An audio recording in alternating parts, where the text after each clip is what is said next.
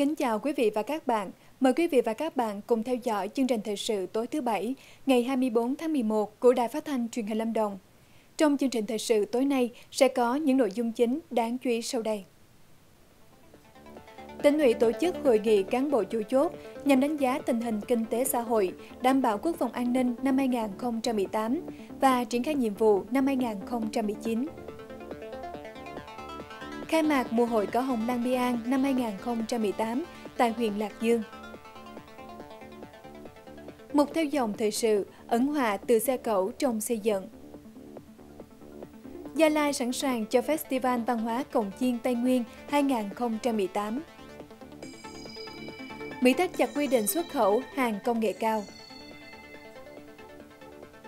Cùng gặp gỡ tấm gương sáng, chi hội trưởng chi hội phụ nữ phường 8 thành phố Đà Lạt.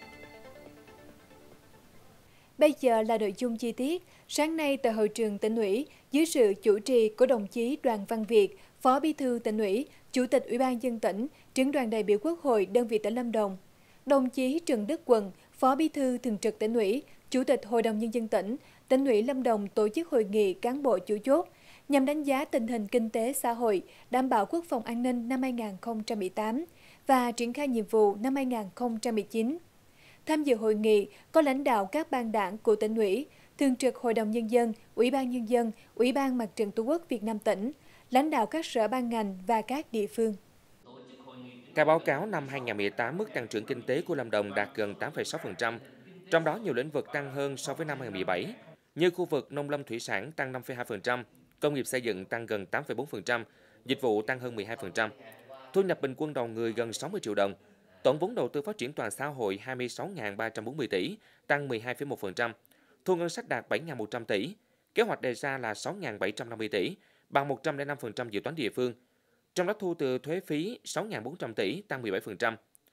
Tổng kim ngạch xuất khẩu đạt 661 triệu đô la, tăng gần 20%. Khách du lịch đến Lâm Đồng đạt hơn 6,5 triệu lượt, tăng trên 10%. Khách quốc tế đạt 101%.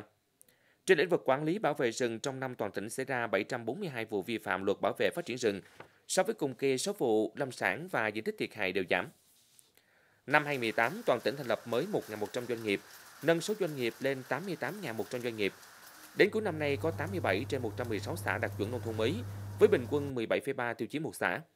Chương trình giảm nghèo có nhiều chuyển biến mới với các nguồn lực đầu tư của nhà nước và cộng đồng xã hội. Diện mạo nông thôn và đời sống hộ nghèo ngày càng được cải thiện. Đến nay tỷ lệ hộ nghèo giảm còn 2,91%, hộ nghèo vùng đồng bào dân tộc thiểu số còn 9,56%. An ninh chính trị trật tự xã hội được giữ vững.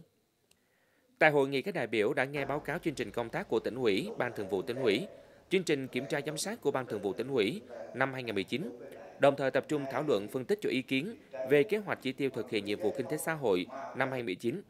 đặc biệt là những lĩnh vực liên quan đến tăng trưởng các chỉ tiêu kinh tế, phát triển kinh tế tập thể, giải pháp thực hiện các công trình dự án trọng điểm, cải cách hành chính, ngăn chặn hoạt động tín dụng đen, quản lý khoáng sản, bảo vệ rừng.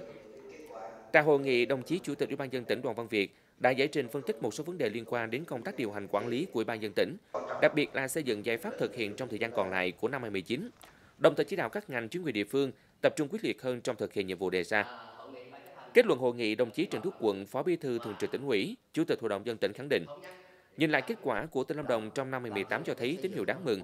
nhiều chỉ tiêu tăng trưởng khá so với kế hoạch. Các lĩnh vực an sinh xã hội, đảm bảo trật tự xã hội, an toàn giao thông được đảm bảo. Công tác giải quyết đơn thư khiếu nại tố cáo kịp thời, đảm bảo niềm tin trong nhân dân. Về công tác xây dựng đảng, được cấp ủy các cấp chủ động xây dựng đề án sắp xếp lại tổ chức bộ máy theo hướng tinh gọn, hoạt động hiệu lực hiệu quả, gắn với đề án vị trí việc làm. Việc thực hiện các nghị quyết của đảng đi vào chiều sâu, tạo chuyển biến rõ nét về nhận thức trong cán bộ đảng viên. Mặc dù trong cái điều kiện hết sức là khó khăn và cũng phải nói là có nhiều cái thử thách à, nhưng mà với cái quyết tâm của ban chấp hành chúng ta đặc biệt là các cấp các ngành là sự đồng thuận của nhân dân địa phương à, với cái khẩu hiệu mà ban chấp hành chúng ta xác định ngay từ đầu năm 2018 à, hành động mạnh mẽ và đồng bộ của cả hệ thống chính trị. Và với một cái quyết tâm cũng hết sức là cao à, ngay từ những ngày đầu tháng đầu năm 2018 thì cấp ủy chính quyền các ngành các cấp cũng đã quyết liệt chỉ đạo và tổ chức thực hiện triển khai các cái nghị quyết của trung ương của quốc hội của chính phủ đặc biệt là triển khai cái nghị quyết 11 của ban chấp hành tỉnh ủy lâm đồng à, chính như vậy cho nên là về cái kết quả phát triển kinh tế xã hội cái đảm bảo quốc phòng an ninh trên địa bàn của tỉnh chúng ta à, trong năm 2018 thì đạt được nhiều cái kết quả khá toàn diện. Kinh tế thì tiếp tục phát triển, tốc độ tăng trưởng cao hơn với mức bình quân chung của cả nước. À, theo cái biểu đồ thì đúng là cái phát triển nó đi theo cái à, hình thăng tiến là 8,59%. trăm à, hiệu lực hiệu quả hoạt động bộ máy chính quyền các cấp từ tỉnh đến cơ sở thì có nhiều có nhiều chuyển biến đáng kể. Nãy cái sự quyết tâm chính trị của chúng ta rất cao. Chủ tịch Hội đồng dân tỉnh cũng chỉ ra những khó khăn chung một số lĩnh vực của Lâm Đồng trong năm vừa qua. Bên cạnh khách quan thì vẫn còn những hạn chế nhất định,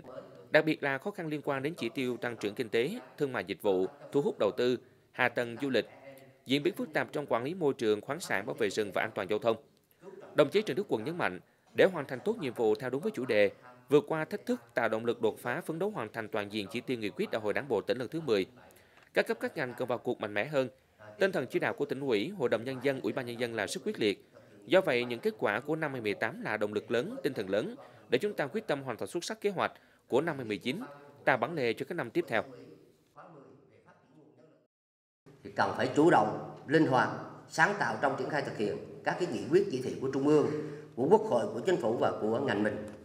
à, để cụ thể hóa vận dụng sát với tình hình thực tiễn của địa phương đơn vị, à, đề ra những giải pháp phù hợp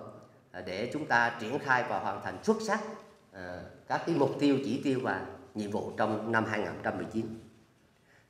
Vấn đề thứ hai là trong lãnh đạo à, thực hiện cái nhiệm vụ phát triển kinh tế đó À, đề nghị các đồng chí đặc biệt lưu ý là bám sát thực hiện chủ trương tái cơ cấu kinh tế, mà trọng tâm là tái cơ cơ cấu ngành nông nghiệp. Rồi cần phải có cái sự phối hợp chặt chẽ giữa các ngành, giữa các địa phương à, trong xác định nhiệm vụ, trọng tâm phát triển kinh tế à, trên cái cơ sở phát huy được cái thế mạnh, cái lợi thế của từng địa phương để chúng ta triển khai thực hiện cái nhiệm vụ của mình. Tập trung chỉ đạo và triển khai có hiệu quả thực hiện cái nghị quyết trung ương 4 về ngăn chặn tình trạng suy thoái về tư tưởng, đạo đức, phong cách tác phong à, của đội ngũ cán bộ đảng viên của chúng ta. Thực hiện tốt các nhiệm vụ trong năm 2019 đó sẽ là cái cơ sở để đóng góp vào quan trọng thực hiện thắng lợi các cái mục tiêu, chỉ tiêu à, nhiệm vụ mà nghị quyết đại hội đảng bộ tỉnh lần thứ 10 đã đề ra. À, đồng thời sẽ tạo chuyển biến tích cực để tỉnh chúng ta phát triển về mọi mặt kinh tế, xã hội vì vậy cho nên tôi đề nghị các đồng chí ủy viên ban chấp hành cần tiếp tục nêu cao tinh thần trách nhiệm à, thể hiện cái tinh thần gương mẫu trong mọi lĩnh vực với quyết tâm chính trị cao nhất Phó Bí thư Thường trực tỉnh ủy, Chủ tịch Hội đồng dân tỉnh nhấn mạnh, với khí thế của năm 2018, tin tưởng Lâm Đồng sẽ tiếp tục vượt thoát đi lên để phát triển. Nhưng để làm được điều này, đòi hỏi tinh thần gương mẫu trách nhiệm của người đứng đầu trong lãnh chỉ đạo, đồng thời tạo sự đoàn kết, sự quyết tâm cao của toàn đảng bộ và nhân dân các dân tộc trong tỉnh. Tối qua 23 tháng 11, ông Trần Đức Quận, Phó Bí thư Thường trực tỉnh ủy, Chủ tịch Hội đồng Nhân dân tỉnh, ông Nguyễn Trọng Ánh Đông, Ủy viên Ban Thường vụ tỉnh ủy, Chủ tịch Ủy ban Mặt trận Tổ quốc Việt Nam tỉnh, ông Ca Mát, Ủy viên Ban Thường vụ tỉnh ủy, Phó Chủ tịch Hội đồng Nhân dân tỉnh, ông Phạm Ét, Phó Chủ tịch Ủy ban dân tỉnh, cùng lãnh đạo huyện Di Linh đã đến viếng lễ tang hòa thượng Thích Toàn Đức, trưởng ban trị sự Giáo hội Phật giáo Việt Nam tại Lâm Đồng, tại chùa Linh Thắng, thị trấn Di Linh, huyện Di Linh. Lãnh đạo tỉnh ủy, Hội đồng Nhân dân, Ủy ban Nhân dân, Ủy ban Mặt trận Tổ quốc Việt Nam tỉnh Lâm Đồng đã thắp nhang và bày tỏ sự chia buồn sâu sắc đến các tăng ni Phật tử tỉnh Lâm Đồng trước sự ra đi của trưởng ban trị sự Giáo hội Phật giáo Việt Nam tỉnh Lâm Đồng, Hòa thượng Thích Toàn Đức. Trong thời gian hoàng pháp của mình, Hòa thượng Thích Toàn Đức luôn đồng hành với dân tộc trong việc xây dựng và củng cố sức mạnh của đại đoàn kết toàn dân, chăm lo cho đời sống của Phật tử và vận động Phật tử sống tốt đời đẹp đạo, tập trung phát triển sản xuất và kinh tế, góp phần xây dựng quê hương đất nước ngày càng giàu mạnh. Lễ viếng Hòa thượng Thích Toàn Đức bắt đầu vào ngày 23 tháng 11 và kéo dài trong 4 ngày. Lễ truy điệu được cử hành vào lúc 9 giờ 30 ngày 27 tháng 11. Sau đó, Kim Quang Hòa thượng sẽ được nhập bào tháp tại chùa Linh Thắng, thị trấn Di Linh, huyện Di Linh.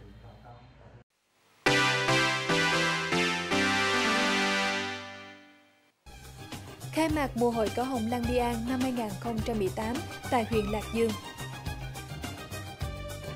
Một theo dòng thời sự, ấn họa từ xe cẩu trong xây dựng là những thông tin sẽ có trong phần tiếp theo của chương trình. Tối qua 23 tháng 11 tại thành phố Đà Lạt, Cục Văn hóa cơ sở thuộc Bộ Văn hóa Thể thao và Du lịch phối hợp với Sở Văn hóa Thể thao và Du lịch tỉnh Lâm Đồng đã khai mạc liên hoan diễn xướng dân gian văn hóa các dân tộc khu vực Trường Sơn Tây Nguyên lần thứ hai.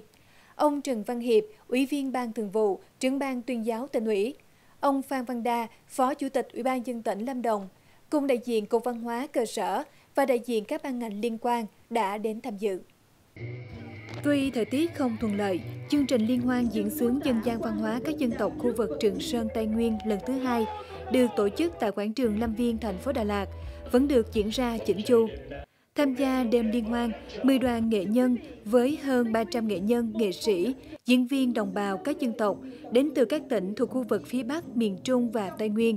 đã lần lượt có những phần trình diễn sướng dân gian, lễ hội đặc sắc của các vùng miền và phần trình diễn trang phục truyền thống bản địa đẹp mắt. Rất là vinh dự và phấn khởi được đến tham gia và mang cái bản sắc văn hóa của quê hương mình đến với uh, Đà Lạt để giới thiệu với công chúng trong uh, khu vực Trường Sơn Tây Nguyên để hiểu thêm được cái nghi thức hát văn, hát chầu văn và diễn sướng hậu thánh của người Việt mà đã được thế giới công nhận UNESCO công nhận là di sản phi vật thể của nhân loại. Đem đến cho liên hoan lần này, đoàn nghệ nhân Lâm Đồng với cảnh diễn nghệ thuật Lời chào Canai của nhạc sĩ Granzan Kadit qua phần trình diễn của các nghệ nhân đến từ huyện Lạc Dương đã thu hút đông đảo người dân và du khách đón xem. À, mình thấy khá là hay tại vì mình cũng biết thêm những cái thông tin không những mà những dân tộc ở thành phố này còn ở trên theo dãy Trường Sơn nữa giống như các dân tộc ở khu vực Đà Nẵng, ờ, Quảng Ngãi nói chung mình chưa, chưa biết đến. À, mình cũng muốn có những cái buổi văn hóa như thế này thì để giới trẻ tụi mình nó có thể biết được sâu hơn về cái văn hóa truyền thống của Việt Nam mình. Liên hoan diễn xướng dân gian văn hóa các dân tộc khu vực Trường Sơn, Tây Nguyên cũng là sân chơi cho các nghệ nhân, diễn viên có cơ hội được giao lưu, học hỏi, tăng cường tình đoàn kết giữa các địa phương, đơn vị, tạo không khí vui tươi, phấn khởi, để lại ấn tượng sâu sắc trong lòng du khách và nhân dân các dân tộc trên địa bàn. Quá trình phát triển của xã hội thì trách nhiệm của chúng ta trong cái giai đoạn này thì chúng ta cũng cần quan tâm hơn nữa trong công tác bảo tồn và phát triển các cái giá trị di sản văn hóa đó và đặc biệt là với Lâm Đồng chúng ta thì à, chúng tôi cũng mong muốn để phát triển các cái văn hóa dân tộc phục vụ cho cái à, phát triển du lịch và cái nhu cầu à, và sinh hoạt văn hóa của người dân của tỉnh Lâm Đồng chúng ta. Với sự chuẩn bị công phu của các nghệ nhân, diễn viên đã đem đến cho liên hoan một không gian văn hóa đầy sức sống thông qua các tích trò trong sinh hoạt tín ngưỡng, lễ hội, các loại hình dân ca, dân vũ, các trò chơi dân gian, tiêu biểu trong bản sắc đặc trưng của các dân tộc, đại diện cho từng khu vực, tái hiện một cách chân thật cuộc sống lao động sản xuất, toát lên tinh thần tự hào đoàn kết, tiếp nối truyền thống từ quá khứ hào hùng trong đấu tranh bảo vệ Tổ quốc, đến hiện tại xây dựng quê hương ấm no, giàu đẹp. Sáng nay 24 tháng 11, tại khu vực Hồ Đăng Kia, Suối Vàng, thị trấn Lạc Dương, Ủy ban Nhân dân huyện Lạc Dương đã khai mạc mùa hội cỏ hồng Lan Bi An năm 2018, thu hút khá đông du khách và người dân địa phương đến tham dự. Phát biểu khai mạc chương trình, lãnh đạo huyện Lạc Dương khẳng định tiếp nối năm 2017, mùa hội có Hồng Lan Bi An 2018 đưa ra thông điệp gửi đến cộng đồng, hãy yêu quý thiên nhiên, bảo vệ môi trường sống. Theo đó, mùa hội cỏ Hồng Lan Bi An 2018 diễn ra trong 9 ngày, từ 24 tháng 11 đến ngày 2 tháng 12, với ba sự kiện chính như thiên đường có hoa, tham quan chụp ảnh miễn phí, cuộc thi ảnh không chuyên và chuyên nghiệp, giải đua ngựa không yên, vó ngựa thảo nguyên cỏ hồng và sắc màu Lan Bi An trưng bày giới thiệu các sản phẩm đặc trưng của Lạc Dương như cà phê Arabica Lan Bi An, rượu cần bon Lan sản phẩm về thổ cẩm Đan Lát và các nông sản thế mạnh. Mặc dù trời mưa gió, thì về công tác tổ chức chúng tôi hiện nay đánh giá cơ bản chúng tôi cũng đã là hoàn thành theo kế hoạch. À, hiện nay chúng tôi cũng đã có một số cái nội dung theo chương trình kế hoạch À, tất cả các nội dung trong chương trình kế hoạch chúng tôi đã triển khai thực hiện à, và qua đánh giá của chúng tôi thì cơ bản hôm nay chúng tôi đã hoàn thành một số cái nội dung. Tuy thời tiết không thuận lợi, nhưng đã thu hút khá đông du khách đến tham quan thưởng lãm với các hoạt động trải nghiệm tham quan chụp hình trên các đồi cỏ hồng.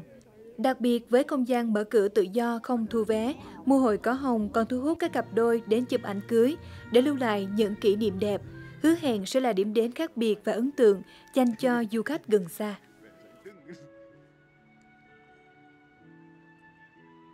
Đây là lần đầu tiên tôi đến à, Lâm Đồng. Và trước khi đến thì chúng tôi cũng đã tìm hiểu Lâm Đồng và được biết cái đồi cỏ hồng này rất là đẹp. Và cũng à, qua nhiều tranh ảnh sách báo và qua internet đấy thì chúng tôi cũng thấy là cực kỳ đẹp. Và chúng tôi quyết tâm là phải đến đây để được có những, được những cái bức hình về đồi à, cỏ hồng và đúng là khi mà đến nơi thì tôi cảm nhận là cả một cái triền đồi rất là đẹp toàn cỏ hồng và uh, chúng tôi rất là thấy có một cái không gian rất là khác. Và chúng tôi chắc chắn là sẽ lần sau sẽ đến hàng năm sẽ đến đây. Mình thấy ở đây một không gian rộng lớn rất là đẹp. Không khí thì uh, mát dịu và cảnh sắc thiên nhiên thì rất là trong lành này. Và một đồi cỏ hồng này rất đặc biệt mình có cảm giác như đang đứng ở châu Âu. Mình ở thành phố Hồ Chí Minh lên. Thì uh, tính lên đầu tháng mà do là có lễ hội nên là cuối tháng đi luôn. Thì lên trong này không không khí này rất là mát và kiểu rất là lạnh. Nó khác với thành phố rất nhiều. À, cỏ đây thì có cỏ mà do thời tiết nó không được xanh lắm nên cỏ nó chỉ được đẹp em nghĩ nếu trời nắng thì chắc đẹp hơn.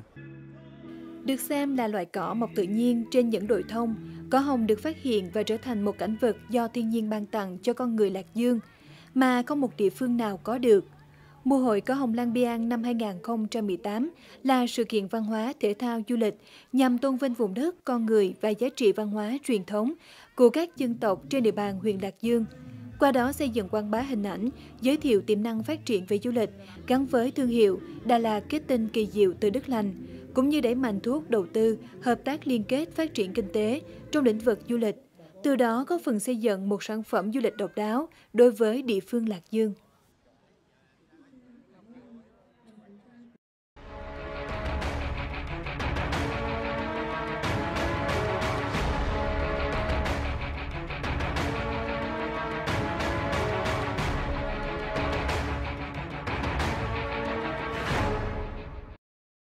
Hiện nay trên địa bàn thành phố Đà Lạt có rất nhiều công trình xây dựng quy mô lớn. Các công trình này phải sử dụng các xe cẩu và xe bơm bê tông để thi công một số hạng mục. Tuy nhiên, không phải ở công trình nào các loại phương tiện này cũng tuân thủ nguyên tắc an toàn cho các công nhân ở công trường và người đi đường.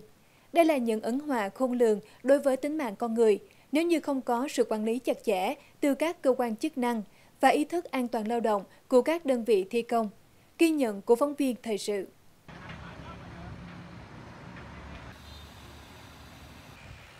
Xe cẩu. Cẩu khối sắt lên đến hàng tấn, lơ lửng trên không. Dưới công trường, nhiều công nhân vẫn đang làm việc. Cùng lúc đó là một lượng lớn phương tiện giao thông đang đi qua khu vực này, nhưng không hề có biển cảnh báo nguy hiểm. Mặc nhiên mọi việc vẫn diễn ra, nhưng không ai chắc sự an toàn của mình có được đảm bảo hay không.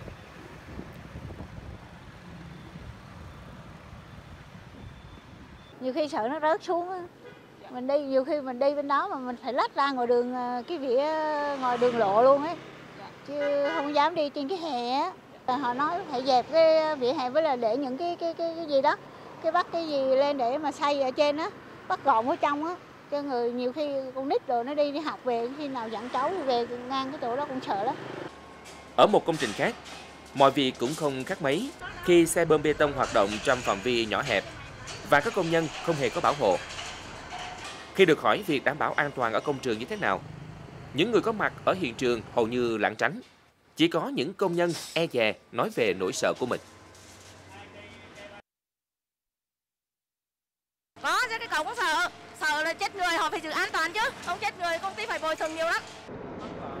Gần đây trên địa bàn thành phố Đà Lạt, các công trình xây dựng có quy mô lớn xuất hiện ngày càng nhiều. Đa phần là các khách sạn, các trung tâm thương mại và các công trình khác, nên việc sử dụng các loại xe cẩu, xe bơm bê tông rất phổ biến. Theo những người làm xây dựng, khi thực hiện các hạng mục liên quan, cần sử dụng các phương tiện này, thì phải đặt yếu tố an toàn lên hàng đầu, dù chỉ là những chi tiết nhỏ nhất. Vì không ai nói trước được điều gì sẽ xảy ra nếu còn tâm lý chủ quan. Theo nguyên tắc là nếu mà xe bê tông thì á, tại vì do mặt bằng thì nó hạn chế quá thì xe bê tông thì đặt đặt ngoài đường thì trước khi đặt con đường thì em bên em sẽ làm một biển báo là ờ, ờ, một biển báo thi công. Thì ờ, còn hai nữa là cẩu đồ mà lên tầng mà để mà làm á thì là trước khi cẩu thì xe của em sẽ vô công trường hết. Nó không nó không có đưa ra bánh xe ngoài đường. Thì trong công trường là chỗ mà phạm vi mà cẩu á thì là không có người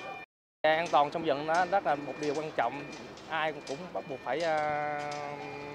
phải có, tại vì nói chung là tính mạng con người là quan quan trọng nhất.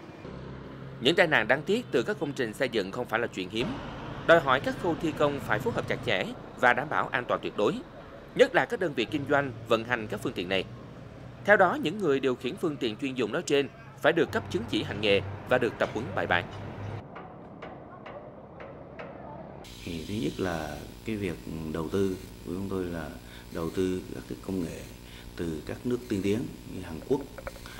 và ờ, của Đức. Thì khi chuyển giao công nghệ thì các đối tác họ họ đào tạo và huấn luyện rất là chuyên nghiệp rất là khắc khe trong các quá trình vận hành để đảm bảo các công tác an toàn. Và đặc biệt là chúng tôi sử dụng toàn những cái thiết bị mới nhập mới từ nước ngoài về 100% chứ không sử dụng cái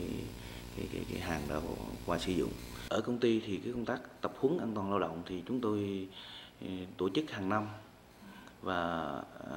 và kết hợp với, với, với sở lao động thương binh xã hội công tác an toàn thì chúng tôi đặc biệt là công ty chúng tôi rất là là chú trọng đến cái, cái công tác đào tạo và à, để đảm bảo cái an toàn này. Để các công trình đảm bảo an toàn lao động và tính mạng người dân không bị đe dọa, thì việc thắt chặt quản lý các phương tiện này là vấn đề cần được quan tâm đúng mức. Trong đó, các đơn vị chủ quản phương tiện, con người sẽ không được chủ quan trong bất cứ tình huống nào. Sử dụng các thiết bị thang nâng, rồi các cần à, trục, cái đó là các cầu tháp á, là đó là những thiết bị nguy hiểm à, được quy định thì anh phải có các cái giấy chứng nhận về kiểm định an toàn lao động của cái thiết bị đó kiểm định an toàn của thiết bị đó do cái tổ chức độc lập người ta người ta kiểm định xong người ta lập hồ sơ cho cho cái loại thiết bị này. Thì khi anh đưa đến thị trường à, hiện trường công trình nào thì anh cũng phải cung cấp cho các cơ quan quản lý nhà nước hoặc chính quyền địa phương kiểm tra. Mình rút kinh nghiệm ờ, một số trường hợp tai nạn của cái, các cái cái loại thiết bị này rồi, của các cái đô thị lớn rồi. Nên nên là là năm 2017 vừa qua thì sở dựng cũng phối hợp với sở lao động thương binh cũng cũng cũng cũng tổ chức đi kiểm tra và yêu cầu các cái chủ đầu tư là nếu thiết bị đó mà không có cái kiểm định về an toàn thì không được phép sử dụng và yêu cầu là phải đi kiểm định kiểm định xong rồi thấy đủ điều kiện thì cho còn không đủ điều kiện thì không cho phép vâng vận hành thì loại thiết bị đó. Mặc dù hiện nay trên địa bàn thành phố Đà Lạt nói riêng và tỉnh Lâm Đồng nói chung chưa xảy ra vụ tai nạn nào liên quan đến các loại phương tiện là xe cẩu và xe bơm bê tông. Tuy nhiên, khi các phương tiện này tham gia thi công các công trình mà không tuân thủ đủ các nguyên tắc đảm bảo an toàn, thì không ai có thể nói trước được những tử thần từ trên cao sẽ giáng theo họa xuống con người vào lúc nào và ở đâu. Ủy ban Nhân dân thành phố Đà Lạt cho biết, để nâng cao chất lượng phục vụ du khách khi đến với thành phố ngàn hoa, thành phố vừa đưa vào hoạt động đường dây nóng hỗ trợ du khách theo hình thức tổng đài 1900 1067. Theo đó, khi du khách có những phản ánh kiến nghị liên quan tới các vấn đề khi đi du lịch tại Đà Lạt, du khách có thể thông qua tổng đài 19001067 để phản ánh những kiến nghị của mình với các cơ quan chức năng của thành phố. Cụ thể, để kết nối trực tiếp với Công an thành phố Đà Lạt, sau khi gọi tổng đài 19001067, du khách nhấn phím 1. Để kết nối trực tiếp với Trung tâm Thông tin và Hỗ trợ khách du lịch của Trung tâm Xúc tiến Đầu tư Thương mại và Du lịch tỉnh Lâm Đồng, du khách ấn phím 2 để kết nối trực tiếp với phòng y tế thành phố Đà Lạt trong trường hợp khẩn cấp, cần hỗ trợ cứu hộ, cứu nạn và chăm sóc y tế. Du khách ấn phím 3 để được hỗ trợ. Như vậy, ngoài 3 số điện thoại nóng đã được thành phố Đà Lạt công khai để xử lý kịp thời những phản ánh kiến nghị của du khách là 0912 903 178, Phòng Văn hóa Thông tin, 0912 903 707, Phòng Kinh tế và 0912 903 615, Công an thành phố. Nay du khách có thêm tổng đài 1900 1067 để được tư vấn hỗ trợ thêm khi đi du lịch tại Đà Lạt. Tiếp tục chương trình là một số tin vắn trên các lĩnh vực. Nhằm hoàn thành các tiêu chí trong xây dựng nông thôn mới, đến hết tháng 10 năm 2018, huyện Đam Rông đã huy động gần 230 tỷ đồng để thực hiện chương trình. Trong đó, vốn trực tiếp đầu tư nông thôn mới là trên 10.800 triệu đồng, lồng ghép là 101 tỷ đồng, tín dụng là trên 115 tỷ đồng và cộng đồng dân cư đóng góp là gần 600 triệu đồng. Từ nguồn kinh phí nêu trên, huyện Đam Rông đã tập trung đầu tư các hạng mục xây dựng hệ thống đường giao thông, nhà sinh hoạt cộng đồng, trạm y tế, trường học và hỗ trợ phát triển sản xuất cho bà con nông dân. Nhìn chung, các công trình, chương trình hỗ trợ đã phát huy hiệu quả, có phần nâng cao đời sống vật chất và tinh thần của người dân, nhất là đồng bào dân tộc thiểu số cũng như tạo nên một diện mạo mới cho các xã của huyện Đam Rông. Bảo hiểm xã hội tỉnh Lâm Đồng cho biết, theo quy định chi tiết thi hành một số điều của luật bảo hiểm xã hội và luật an toàn vệ sinh lao động, thì không quy định trách nhiệm của cơ quan bảo hiểm xã hội trong việc in và cấp phôi giấy chứng nhận nghỉ việc, hưởng bảo hiểm xã hội cho cơ sở khám bệnh chữa bệnh. Vì vậy, kể từ ngày 1 tháng 1 năm 2019, Bảo hiểm xã hội tỉnh sẽ ngừng cấp phôi giấy chứng nhận nghỉ việc, hưởng bảo hiểm xã hội cho các cơ sở khám bệnh chữa bệnh. Đồng thời, các quyển giấy chứng nhận nghỉ việc, hưởng bảo hiểm xã hội đã sử dụng và chưa sử dụng, các cơ sở khám bệnh chữa bệnh có trách nhiệm bàn giao lại cho Bảo hiểm xã hội tỉnh hoặc Bảo hiểm xã hội huyện, thành phố, nơi cấp phôi trước ngày 20 tháng 1 năm 2019 để theo dõi quản lý theo quy định nhằm đảm bảo quyền lợi của người lao động và giải quyết các chế độ bảo hiểm xã hội kịp thời theo đúng quy định. Bảo hiểm xã hội tỉnh Lâm Đồng đã đề nghị các cơ sở khám bệnh chữa bệnh chủ động cấp giấy chứng nhận nghỉ việc, hưởng bảo hiểm xã hội và các loại giấy tờ làm căn cứ giải quyết chế độ bảo hiểm xã hội cho người lao động theo đúng quy định của Bộ Y tế.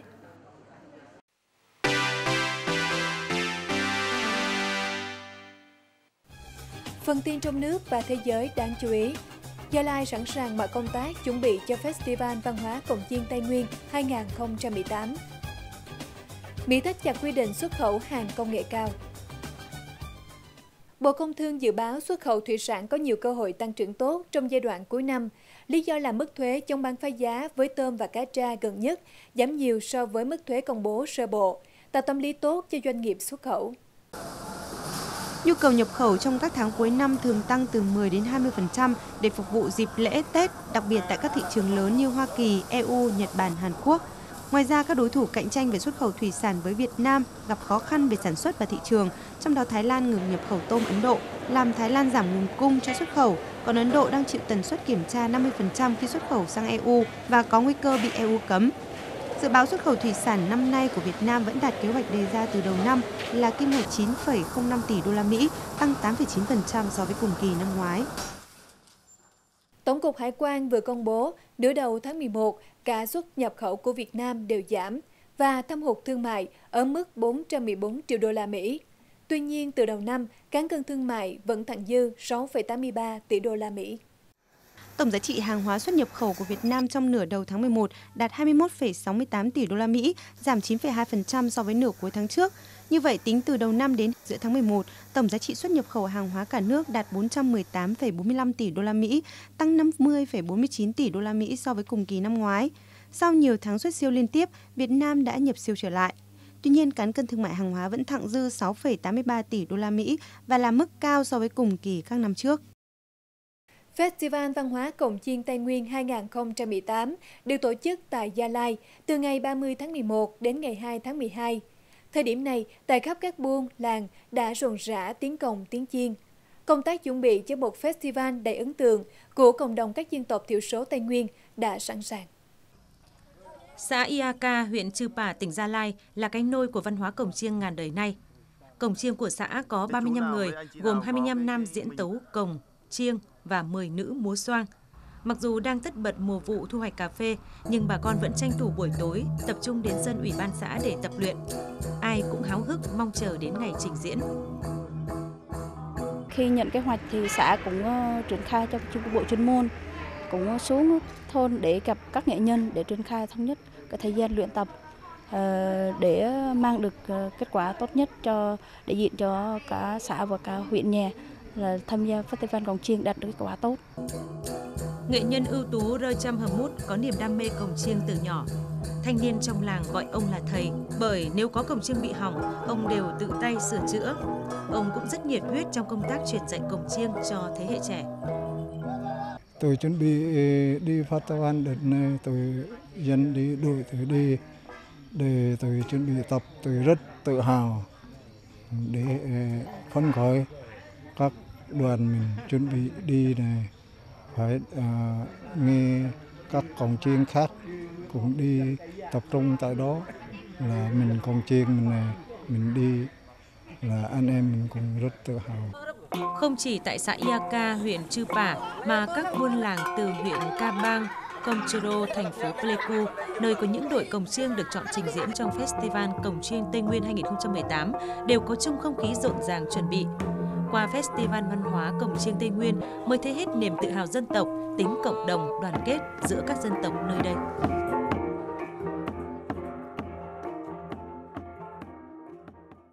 Chính quyền Tổng thống Mỹ Donald Trump đang xem xét việc thắt chặt các quy định đối với hàng xuất khẩu công nghệ cao. Đây được cho là một động thái mới nhất có tác động tiêu cực lớn và lâu dài đối với quan hệ giữa Mỹ và Trung Quốc. Chính phủ Mỹ vừa cho đăng một danh sách các sản phẩm công nghệ mới có ứng dụng bảo mật quốc gia, từ trí tuệ nhân tạo tới bộ vi xử lý và người máy trên trang web Federal Register. Việc đăng tải này nhằm lấy ý kiến công khai về việc có nên đưa ra những sản phẩm công nghệ cao vào diện phải tuân theo các quy tắc kiểm soát xuất khẩu nghiêm ngặt hơn, bởi nó sẽ ảnh hưởng tới các nhà sản xuất Mỹ cũng như các khách hàng Trung Quốc. Nếu các quy định mới được áp dụng, những công ty như Apple Inc., Google, IBM, Amazon và các công ty tương tự sẽ bị giới hạn đối với việc xuất khẩu công nghệ của điện thoại thông minh kích hoạt bằng giọng nói, xe tự lái và siêu máy tính nhanh của Trung Quốc. Trước thông tin trên, một số cổ phiếu trên thị trường chứng khoán ở Trung Quốc đã giảm, trong đó cổ phiếu vốn hóa lớn của các tập đoàn công nghệ số bị mất điểm nhiều nhất. Hơn 1 triệu tấn thức ăn chăn nuôi ở châu Âu có thể đã nhiễm một loại chất phụ da chứa vi khuẩn biến đổi gen, vốn bị EU cấm sử dụng. Báo Le Monde của Pháp dẫn nguồn tin từ nhà chức trách Hà Lan cho hay, tam tấn phụ gia vitamin B2 được sản xuất từ chủng biến đổi gen của vi khuẩn Bacillus subtilis đã được bán tại Ba Lan, Italy và Hà Lan từ tháng 4 đến tháng 6 vừa qua. Số phụ gia này do công ty Sơn Đông của Trung Quốc sản xuất và được một công ty Hà Lan phân phối. Theo nguồn tin, Khoảng 2,5 tấn phụ da này có thể đã được sử dụng trong chăn nuôi ở Ba Lan. Chất phụ da vitamin B2 đã bị Ủy ban châu Âu hủy cấp phép lưu hành cách đây 2 tháng và yêu cầu rút sản phẩm này khỏi hệ thống phân phối hôm 10 tháng 11, sau khi cơ quan an toàn thực phẩm châu Âu khẳng định chất này đe dọa đến sức khỏe động vật lẫn con người. Hiện nhiều nước đang nỗ lực tìm cách thu hồi số phụ da này sau khi có lệnh cấm. Mới đây, các nhà khoa học tại Đại học UC Davis, Mỹ đã phát triển thành công máy quét toàn thân đầu tiên trên thế giới, có thể tạo ra bản quét 3D chi tiết về giải phẫu người. Thiết bị quét mang tên Explorer có thể quét nhanh gấp 40 lần so với máy chụp cắt lớp phát xạ positron PET scan hiện nay. Explorer kết hợp kỹ thuật PET scan với chụp cắt lớp vi tính tia X CT scan cho phép tạo ra bản quét 3D toàn bộ cơ thể chỉ trong khoảng 20 đến 30 giây. Thiết bị không chỉ nhanh hơn mà còn có khả năng quét với liều bức xạ thấp hơn đáng kể. Bên cạnh đó, độ nhạy cao hơn cho phép thiết bị tạo ra bản quét với chất lượng hình ảnh tốt hơn. Với sự hỗ trợ của máy quét toàn thân Explorer, các bác sĩ có thể đánh giá được những gì đang xảy ra trong tất cả các mô và cơ quan trong cơ thể, mở ra những đột phá trong việc nghiên cứu và điều trị ung thư.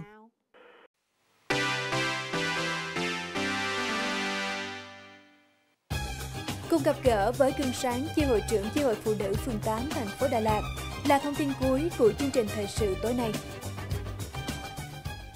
Gia đình là nền tảng của xã hội, xây dựng gia đình hạnh phúc là mục tiêu phấn đấu của mỗi gia đình Việt Nam. Nhận thức rõ vai trò trách nhiệm nòng cốt của phụ nữ trong công tác gia đình. Thời gian qua đã có rất nhiều tấm gương sáng, không chỉ tích cực xây dựng hạnh phúc gia đình của chính mình, mà còn phát huy vai trò chức năng nhiệm vụ, tổ chức nhiều hoạt động chăm lo, hỗ trợ phụ nữ xây dựng gia đình, no ấm, bình đẳng, tiến bộ, hạnh phúc. Mời quý vị và các bạn cùng gặp gỡ tấm gương sáng bà Lê Thị Tích, chi hội trưởng chi hội phụ nữ tổ dân phố Trần Quốc Toản, phường 8, thành phố Đà Lạt qua phóng sự sau. Với vai trò của người phụ nữ trong gia đình, bà Lê Thị Tích luôn hiểu rõ sự quan trọng của mình trong việc giữ gìn, xây dựng gia đình hạnh phúc. Trong ngôi nhà khang trang có bốn thế hệ cùng chung sống. Hơn ai hết, gia đình bà luôn ý thức vai trò của mình trong việc vun đắp xây dựng một gia đình hạnh phúc. Bản thân bà luôn chăm sóc, dạy dỗ chu đáo và quan tâm các con, cùng sẻ chia những buồn vui trong cuộc sống với chồng và các con. Vì thế mà năm người con của bà ai cũng thành đạt và có một công việc tốt ngoài xã hội. Mặc dù đến nay cả ông và bà đều đã ngoài 70 tuổi, tuy thời gian có trôi đi, hình dáng con người đã có nhiều đổi thay, Nhưng có lẽ tình cảm thương yêu chia sẻ của đôi vợ chồng già này thì chẳng hề thay đổi. Bởi cả ông và bà đều biết trân trọng những tình cảm mà năm tháng họ đã cùng nhau vượt qua khó khăn để có được thành quả như ngày hôm nay. Mình là phải ờ, coi như là mình đã là một người bà, người bố, người mẹ thì phải làm sao để cho con nó nêu gương mình. Mình phải làm tốt thì con nó mới nêu gương được nó mới học theo mình được. Thì coi như là mình à, phải quan tâm các con các cháu. Đó. Ờ, tôi là một à, gia đình mà khá là là đông các con. Các con lại nhiều cháu. Nhưng mà cái à, bí quyết để gia đình đoàn kết sống hòa thuận như bây giờ thì Ờ, uh, chắc sĩ nghĩ là là là là là uh, con cháu chắc là mình phải thương quan tâm nó trong cái cái mọi cái rồi uh, uh, trời cho mặc dù đã về hưu nhưng mà nếu mà có sức khỏe thì giúp được con cháu cái gì thì mình làm giúp cái đó. Hơn 6 năm, bà đảm nhận vai trò là chi hội trưởng chi hội phụ nữ, đồng thời cũng là tổ trưởng tổ dân phố Trần Quốc Toản, phường 8, thành phố Đà Lạt bà luôn tuyên truyền, nâng cao nhận thức về vai trò, trách nhiệm, vị trí của gia đình đối với sự phát triển của xã hội, trách nhiệm của các thành viên trong việc tạo dựng môi trường, nuôi dưỡng và giáo dục nhân cách con người.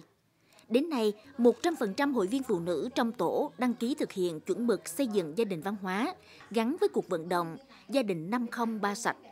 Toàn dân đoàn kết xây dựng đời sống văn hóa ở khu dân cư. Nhờ vậy mà tình trạng bạo lực gia đình trên địa bàn nơi bà sinh sống không xảy ra. Đây là niềm vui lớn nhất của bà trong chặng đường gắn bó với công tác xã hội. Yêu nghề thì mình mới mới làm được. Ừ. Cho nên là mình đi làm thì cũng do ông xã của mình, coi như là động viên cho mình làm. Đấy. Thế còn nếu mà không không không ờ, có người động viên. Con cháu động viên thì mình cũng không làm được. Coi như làm gì cũng thế phải có người động viên. Là chi hội trưởng chi hội phụ nữ bản thân bà luôn nêu cao vai trò chủ động trong việc học tập nâng cao nhận thức để từ đó khẳng định mình có đủ phẩm chất năng lực trong thời đại mới. Bà luôn sống vui vẻ hòa đồng với làng xóm yêu thương mọi người trong gia đình. Nhiều năm liên tục gia đình bà được công nhận gia đình văn hóa tiêu biểu. À, chị Tích tổ trưởng đây thì tôi thấy là nhiệt tình. Làm cái công tác ờ, tổ dân phố là phải có sự nhiệt tình, chịu khó và thế chị tất cả các công việc triển khai về họp hành hay là thực hiện các công việc của phường của thành phố giao rất tốt. Chi hội à, hiện tại đây là chi hội võ trường toản vậy. Cái số chị em hội viên à, cũng như là gia đình của hội viên phụ nữ tham gia các hoạt động tại địa phương rất là nhiều. À, cụ thể đây là tổ trưởng tổ dân phố thì là cô Lê Thị Tích vừa là tổ trưởng tổ dân phố vừa là chi hội trưởng chi hội phụ nữ. Thì trong thời gian vừa qua mà khi cô tham gia hoạt động công tác hội thì cũng vận động cả chồng cũng tham gia và chú cũng rất là hỗ trợ cho cô rất là nhiều trong hoạt động. Và thực sự là để có người phụ nữ tài năng giỏi như thế à, khi mà triển khai bất kể một công việc gì xuống cô cũng luôn là người đứng đầu đi đầu thực hiện trong cái việc đó.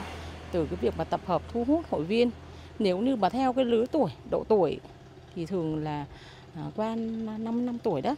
các cô có chị rất là ngại tham gia hoạt động